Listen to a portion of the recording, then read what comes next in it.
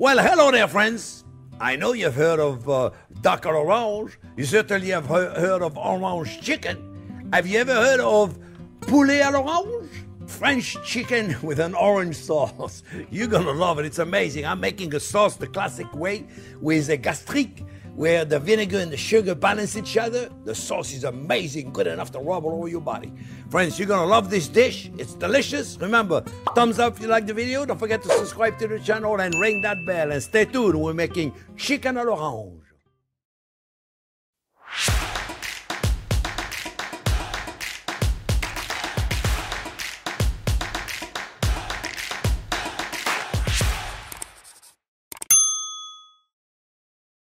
Okay, friends, I'm going to show you how to make this uh, poulet à l'orange, chicken à l'orange, Chi- orange chicken.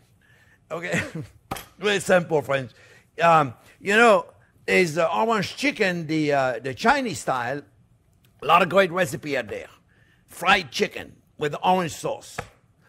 Uh, fabulous. There's a lot of them. But I'm French and Italian, so I'm not to make that. I'm to make chicken à l'orange. My friends, first thing we're going to do is we're going to make a uh, gastrique uh, sweet and sour sauce. French people are going to come up with a, uh, a term that uh, is only for that. Uh, uh, aigre-doux in French, aigre-doux. And uh, it's gastrique, which is a, a sweet and sour balance. So sugar and sour. And in this case, we're going to have sugar and vinegar. And those two are going to balance each other. And you know, this is the base for many, many sauces, many fruit sauces. It just happened then to be an orange sauce, but any fruit sauce, you should do that at the beginning so it balances that. And it's really important to have the sweet and the sour. It's like a je ne sais quoi, where you have it in your mouth, you don't realize it, then the sweet is not sugary and the sour is not sour, or the vinegar is not sour. So I got red wine vinegar. I don't use it often, but I'm going to use it in a minute. We're going to keep an eye on the, on the sugar. Sugar doesn't have anything on it. So it's going to caramelize pretty fast. Uh, I don't want it to be uh, uh, too fast, but I'm going to have to keep an eye on it. And I'm also going to saute a breast of chicken. I'm going to do it in um, uh, clarified butter, my friends. And my clarified butter, I forgot it over there. Somebody's going to give me my clarified butter, please, because I forgot. And um, we're going to keep an eye on the sugar in the meantime, because I did forget my clarified butter. And uh, now, why am I using clarified butter, friends? Make sure everything is good here. Very good, clarified butter. Now, the reason why I'm using clarified butter, my friends, is because if I use regular butter, it would burn. Remember that, friends. Whole butter has milk. Milk protein burn at 250 degrees. So we don't want that. So that's why we're using clarified butter. If you don't have clarified butter, you use a regular cooking oil and it'll be perfectly fine. The smoke point of clarified butter is pretty high, 350, 400. So I'm going to get to it. I'm going to get my chicken. You know, I don't like to keep anything, chicken, poultry, anything at, at room temperature too long. So I take it, I see the sugar is starting to melt. We're going to put salt and pepper. Now you notice I have a stainless steel pan. It's not a non-stick fry pan. And uh, so people say, well, when I use a non-stick, uh, a stainless steel fry pan instead of a non-stick, it sticks. Yeah, it sticks. I'm going to show you how not to make it stick. All right, so we want to make sure we're at the right temperature. And if you have clarified butter over good cooking oil, you can go to 350, 365. And when you're going to put the, the chicken, um, whatever it is you're cooking and you don't want it to stick, fish is certainly one of the most important one. The digital thermometer for this is great. I use it when I go out in clubs at night. uh, only kidding. Look, look, see, see, look at the sugar, friends. See right here? The sugar is starting to turn. They're gonna keep an eye on it. Make sure when you do this, you keep an eye on this, you keep an eye on this, keep an eye on everything. All right. So look, we're gonna take the chicken now, friends and we're going to put it in. It's just one big chicken breast. That's enough for two, for two, two serving here. You put it in a pan away from you, and when you put it in a pan, you shake it. See? Just shake it, just like this. And it's not going to stick. That's all. Just going to do is just shake it. You see any restaurant chef, in a restaurant, that's what they do. They put it in. Let me uh, wash my hand real quick. And um, they, they just shake it like this. See? Look at the sugar. See the sugar? Sugar is excited over there. He's all excited. We're going to reduce the heat. Shake the pan. Let's make sure we don't, uh, we keep melting the sugar. You see right there, friends? We want a nice caramelization. And we're going to put red wine vinegar. Now be careful when you do this, okay?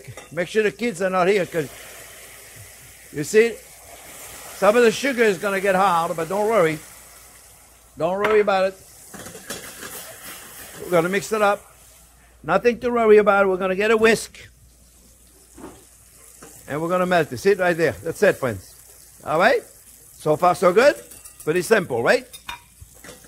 Whew, don't smell this. Whew. You want to clean your nostril, you smell it. Otherwise, don't smell it. and then we're going to see how we're doing here. We're doing good. I'm going to put salt and pepper in here on this side. There's so many things going on over there, friends. Very important that we reduce this correctly, that you get all the acidity out. and um, and then we're gonna put some orange juice on top of that, my friends. Keep an eye on the chicken, eh? Don't let it burn. Um, we got some uh, orange juice. You're gonna say, "Well, that's a big orange." Look, I used the blood orange. Um, I had a few blood orange I used, so it's gonna be dark, and we're gonna put this in the sauce and we're going to let it reduce. If you don't have blood orange, just use regular orange. And we also want to put some zest of oranges. And uh, let me make sure my chicken is good, my friend. Because, uh, yeah, it's still good. All right. We're going to put it on the side. We're going to cook it in the oven. You see the way it's plumping up? Plumping up. Is that a new culinary term? I tell you. Look, guys. Um, I'm going to cut, I use this tool right there. It's got five little holes in there. And you, if you go really hard, you see you get some, uh, some nice strips, right? And then we're going to put them in the sauce. The classical way is you got to put them in water and you got to let them uh, uh, get less bitter if you put them in water or sugar water. I put them in a sauce. It's perfect. It works. Save a step. If you don't have one of those tools, friends, I know you got one of those, right? Vegetable peeler. So you peel, don't go too deep. Don't go too deep. Because if you go too deep, you're going to get too much of the white. And if you get too much of the white, you take your knife. Let me make sure I got nothing in the way here. Let me check the chicken first. There you go. Look, it looks beautiful, right? So now, we flip it on the other side. What do we do? Shake it. Shake it, shake it, shake it, and then we're gonna pop it in the oven. I got an oven at 375 degrees. Okay, you ready? Here you go. In the oven. How long is it gonna take? Maybe um, 12, 13, 15 minutes, depends how thick it is. Let's see how we're doing here. Let me go over there. Okay, so this is nice. Let it reduce just a little bit more, and then we're gonna put the orange juice. So look, if you took too much of the white, you wanna take your knife and you wanna scrape it a little bit. You don't have to. I'm just like being anal. Okay? It's just a little better. Right? And then what do you do with it? You take your knife and you cut very thin long julienne. And this, my friend, is mostly for decoration. Okay?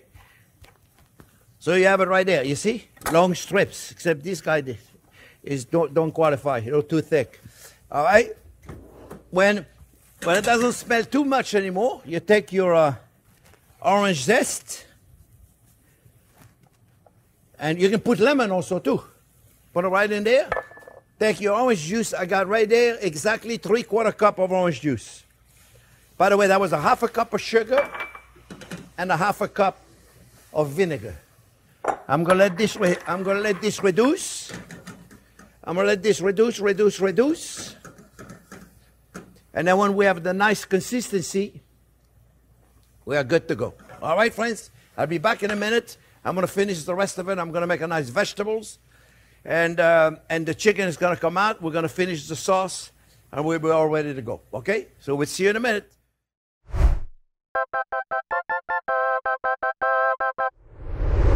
Okay, friends. Chicken is still in the oven. We're going to take it on about two minutes. The sauce is reducing. You see? And we're going to finish it up with butter. Oh, salt and pepper. Mamma mia. Salt and pepper. And then we're going to put some uh, uh, butter at the end to finish it up to make it nice and beautiful. All right? So I got right there. I'm going to serve this with barley. Barley.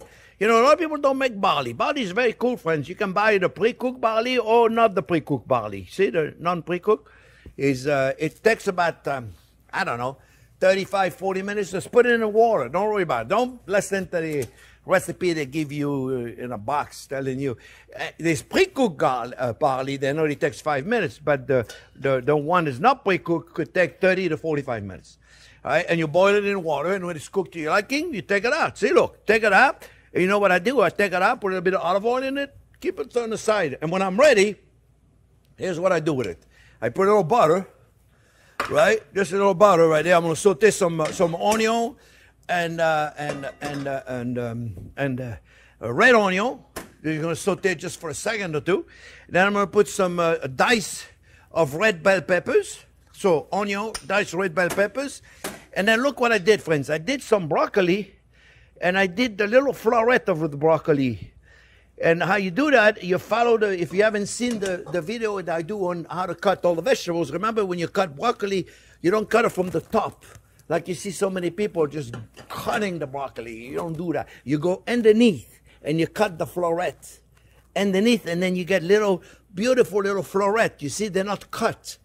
You see, friends? And then uh, it's wonderful to do. So, it's like you could do pasta. You could do. I'm, I'm doing the. Um, uh, I'm doing a um, um, uh, uh, a grain, but you could do pasta. You could do rice. You could do whatever you want. Okay. And then we're gonna put the broccoli with it. So it'll be a nice way to serve uh, some vegetables. Uh, uh, wild rice is also very nice uh, uh, for this for this recipe. Yeah. So we're gonna take the chicken out of there and we're gonna put it. Uh, how about if I put it right there? Doesn't matter, but don't forget, keep a towel on it, friends, because you remember it's hot, right? But you're uh, the person coming after you may not remember. We gotta let it rest, right? I was thinking it's enough for two serving, but it kind of shrink a little bit. So it's uh, two very small serving or one nice serving. I know one is happy right there. So look, guys, I got a little bell peppers in there. This is just today, you know. You can do whatever you want. Eh, Doesn't really matter. This is not that big of a deal here, friend. It's important that we let the chicken rest, though, so then we don't lose all of the juice. The same thing with any meat. You do the same, right? So you take a little bit of the. Uh, I probably have too much. This is one cup that I have right here. It probably was too much of the uh, of the grain, right? Just it's just a quick little serving. You know, it's fun. Put some salt and pepper in there. This is a, a nice side. Sometimes we wonder what to do for side. You know, you don't always want to do the same thing. And then obviously I have a whole head of broccoli. It's probably a little too much in here. And we're gonna put this in here just like that. That's all. Just for fun. There's enough for there's enough for three or four serving. You see, so all of a sudden you got an interesting little pasta, a little grain. Uh, and if you've never tried uh, um, uh, barley, put a little butter in it. Whenever you put butter in something, you know it's going to be good, right? And just let it melt like that. And let me tell you, it's going to be delicious.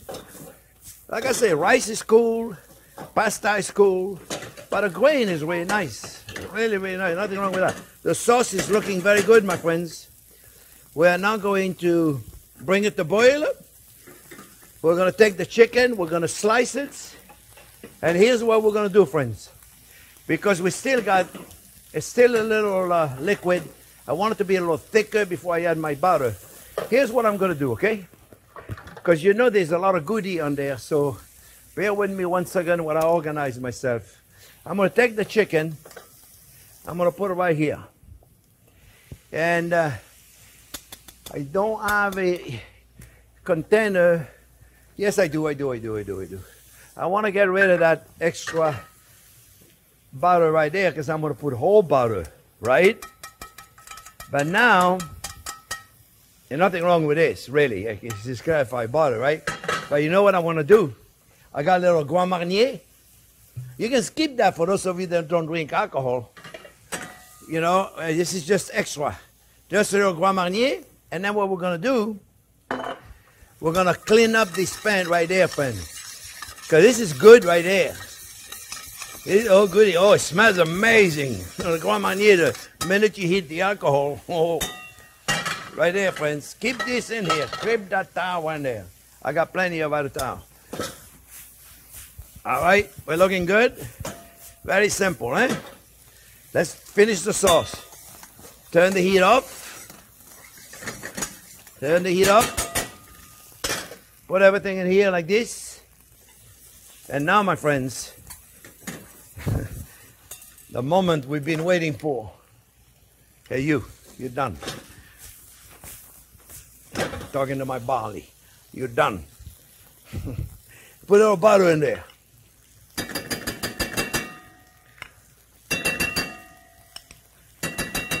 Yes, butter.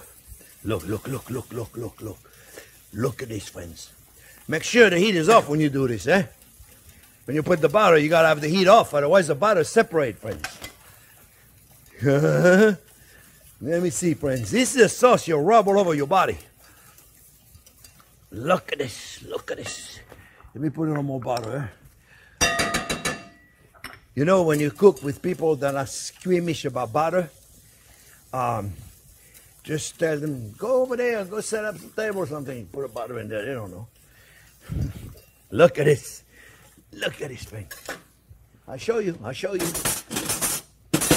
This is what it's all about. Look at this, friends. Look at this.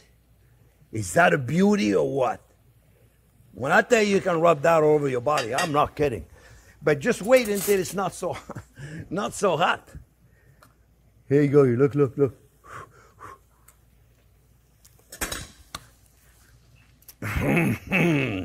That's delicious. You tested the caramel, the orange, and you know what?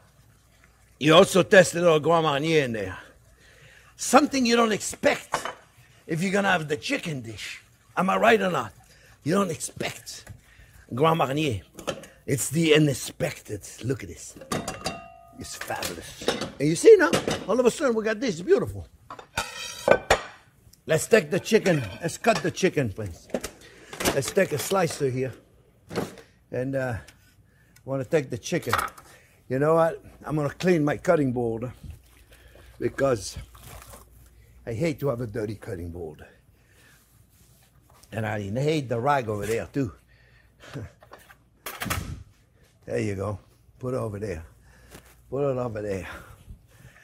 There you go. So now what we want to do, we want to be somewhat elegant, friends. We're going to slice it thin, you see?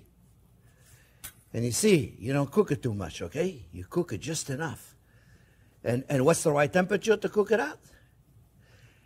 155, 165, okay? So you got, you got the window over there, my friends. You see? Look at this. Look how beautiful that is. Look at this. You see? Now all of a sudden, friends, we got an elegant chicken dish that only took literally minutes. You know what we could do? We could uh, we could make a nice. We could take a uh, a cookie cutter. Depends how much we want to give him. Right? Take a cookie cutter. Right there. Take a spoon. Right? Or we can just plop it on the plate, okay? All right? But why don't we try to be a little bit elegant right there, my friends? Right? It's, uh, it doesn't take longer. It really doesn't take much longer to do that. I, mama mia, look at me. I'm putting some everywhere. Ah, yeah, yeah, yeah, yeah. Sometimes I wonder. I wonder about me. Ah, I do, I do, I do. Look at this. Look at it. They're everywhere. They're everywhere. I had a tongue. I had a tongue once upon a time. you know I'm going to have to fix it, right? Because I can't handle it if it's not perfect. Okay, you got the idea, right? Except you, you're lucky because you don't have a camera running and you can take all the time in the world. Me, no, no, I got to fix them just like this, right? Right? You pack it in a little bit before you take it out, friends. Because if you try to take it out now, the chances are you're going to, oh, it's hot. Wow, so it looks a little more elegant, right? Yeah, yeah. I didn't pack it in enough. When you do this, pack it in, pack it in, right? Take your chicken, put it right there, right there. Look, look, look. Right there, my friends. Right? right there. And now, my friends, the sauce. All right, you ready? You ready, my friends? Let me get over there. Whoa, that sauce gets better looking. Here you go, here you go. You know, I'm not gonna mess up the whole chicken. I'm just gonna put a little bit of it, okay? And uh, you could certainly put it in the front right there so you don't mess up nothing, right? Or you could put it on top of it. However you want to do it, friends. It's really up to you. But look at this. How gorgeous or what? Or you can take just a little bit and you can put it right there on top. Just a little bit. I say a little bit and all of a sudden I'm putting a lot. And then you can take a, a little bit of the orange zest right there and just put them in here like this, my friends, and organize it. All right, you can take your time to do it better. I'm obviously in a rush. I'm not taking my time to do it perfect, but you got the idea. All of a sudden, friends, we took an orange chicken and we gave it a French twist. Let me try it. Let me try it. Let me try, my friends. You can do this easily, right? You saw it's not that complicated what I did. Eh? Everybody can do that. All right? Am I right or not? I am. Ooh. Come, come over here. Look at this. Look at this, friends. Look at this. Look at that sauce, friends. Just dig the sauce in there. Oh. That's amazing. All of the flavor are there. And look at that sauce. That sauce is like, you can see, you can rub it on your body. This is like, mm. The mouthfeel on this sauce is sexy. Friends, I hope you enjoyed it. I certainly had fun making it for you. Remember, thumbs up. Thumbs up if you like the video. Don't forget to subscribe to the channel and ring that bell. Thanks for watching. We'll see you next few days with another fantastic video.